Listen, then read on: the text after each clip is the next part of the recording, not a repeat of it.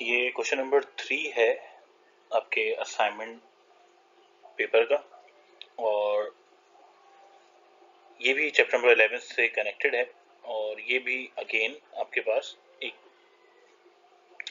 Heat engine का numerical है।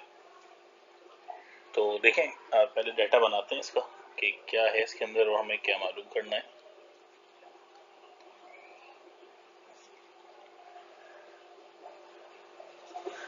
Difference temp, of temperature between hot and cold body is 120 degree centigrade तो hot और cold body के दरमियान में जो टेम्परेचर का डिफरेंस है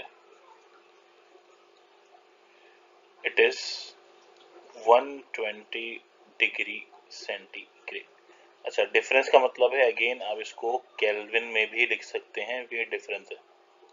सही है, ये 120 केल्विन भी है। अभी मैंने आपको समझाया था। पिछले क्वेश्चन के अंदर क्वेश्चन नंबर टू के अंदर कि केल्विन या सेल्सियस चेंज के अंदर सेम रहते हैं। If the heat engine is 30 percent efficient अगर हीट इंजन आपके पास 30 परसेंट एफिशिएंट है, यानी कि परसेंटेज एफिशिएंसी आपके पास 30 परसेंट है।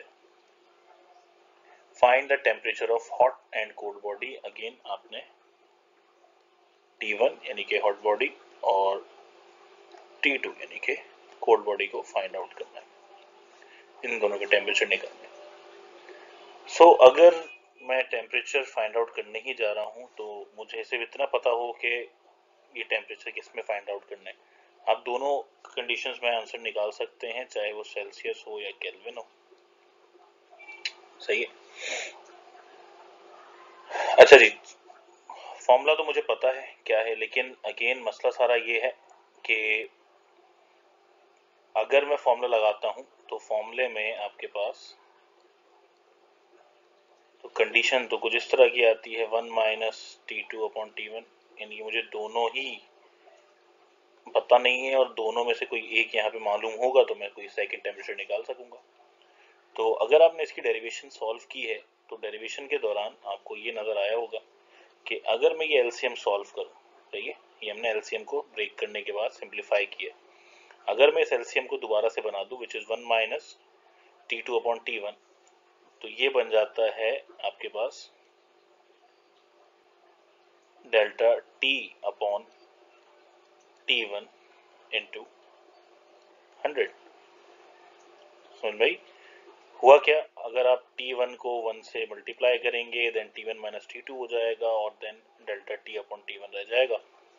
अब यहाँ से आप t1 इजीली फाइंड आउट कर सकते हैं रीजन क्या है कि आपको डेल्टा t पता है।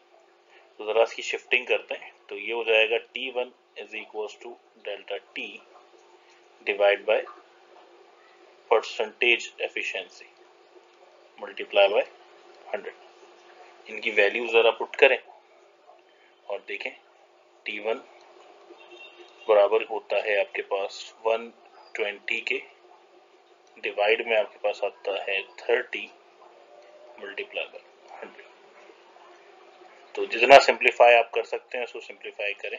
फिर ज़रा देखते हैं इसका आंसर क्या बनता है। It is 400 kelvins okay individual answer हमेशा आपके पास कैलविन में ही आएगा। अगर मुझे सेल्सियस में चाहिए तो मैं इसको कन्वर्ट करूँगा सेल्सियस में, और करके आप इसको फाइंड आउट कर सकते हैं। 400 में से आप माइनस कर दीजिए 273 it will be 127 degree Celsius okay तो इंडिविजुअल आंसर हमेशा एसआई सिस्टम में ही आता है, क्योंकि हमने एसआई सिस्टम में ही सारे यूनिट रखे हैं। सही है? Okay now for T two अब आपको, क्योंकि टी वन पता है और अब आपको मालूम है T two sorry delta T तो आप टी वन के लिए फॉर टी टू आपको दोबारा से फॉर्म लगाने की ज़रूरत नहीं है। आप इजीली टेम्परेचर का डिफरेंस ले सकते हैं बिकॉज़ डेल्टा टी का मतलब है T one minus T two okay और डेल्टा टी हमें पहले ही पता है it is 120 kelvin T one अभी फाइंड आउट किया है it is 400 kelvin and T two यहाँ से फाइंड आउट हो जाएगा। टी टू को शिफ्ट करेंगे और टी डेल्टा टी को शिफ्ट करेंगे तो आपके पास टी टू का फॉर्मूला बनेगा 400 minus 120 डिग्री केल्विन सो T2 का आंसर भी कैलविन में आएगा. It will be